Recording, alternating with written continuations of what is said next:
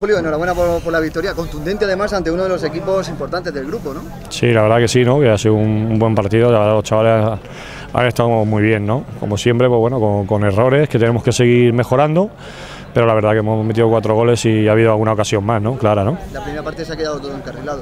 Pues sí, la verdad que sí, parecía que hemos empezado un poco titubeando ahí el, el partido, pero enseguida, bueno, con, la, con el gol, pues hemos cogido confianza y lo que tienen que, darse cuenta, ¿no? que tienen calidad y que si trabajan, pues es un, rival difícil. ¿no?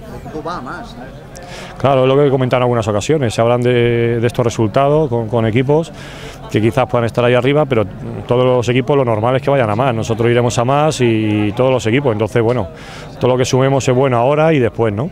Lo que le da mano a Beca a este equipo es importantísimo. ¿no? Sí, la verdad que sí, eh, nos da mucho, pero como no, desde el primer día lo que te he comentado, ¿no? Yo creo que, ningún jugador no se le puede destacar, ¿no? Tanto los 11 que han salido como el resto y sobre todo por el, grupo, el buen grupo que hay, que, que, la gente que no participa, que es muy difícil dejarla fuera, pues está ahí con el equipo, ¿no? Vicen, has optado por dejarlo fuera, ¿no? Que hoy no jugara.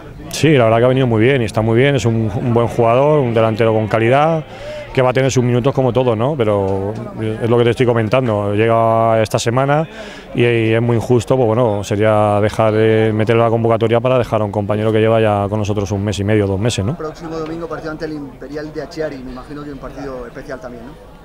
Sí, bueno, especial porque es bonito, ¿no? Son dos filiales, pues el filial del Murcia y en este caso nosotros, y será un partido interesante, pero al final, pues bueno, pues a nosotros a seguir nuestra línea de trabajo y, y con el Murcia B y con todos los equipos la misma, ¿no?